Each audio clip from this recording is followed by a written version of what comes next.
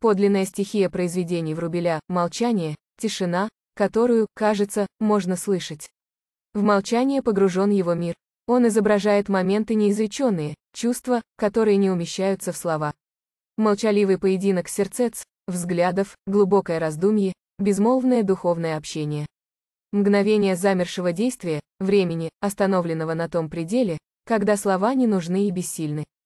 Грандиозность и поистине титаническое величие Михаила Врубеля проявилось в поразительной полифонии творчества, универсализме мастерства и оригинальности мышления.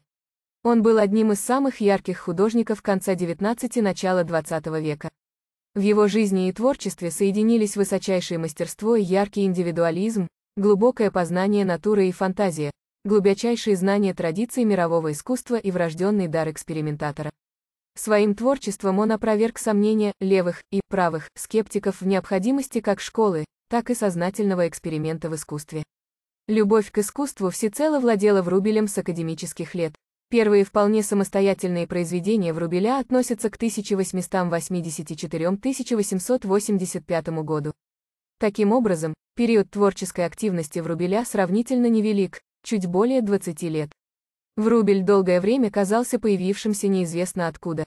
Затруднительно казалось определить происхождение его стиля, его индивидуальной манеры. На поверхности этот индивидуальный стиль легко узнаваем, это манера трактовать видимые формы в виде мозаики мазков, кубизированная орнаментация объемной формы.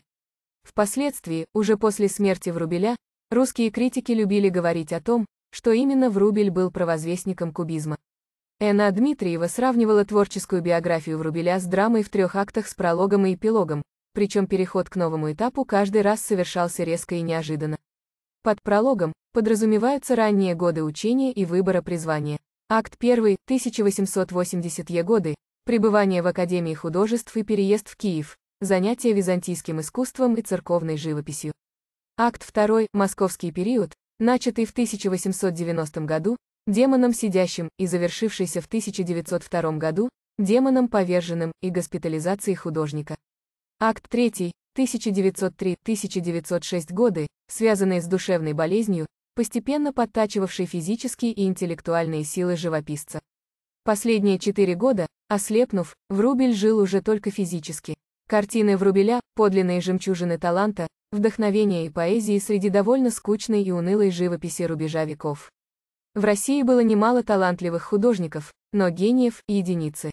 Михаил Врубель – один из них. Ставьте лайки, подписывайтесь на канал. Всем пока!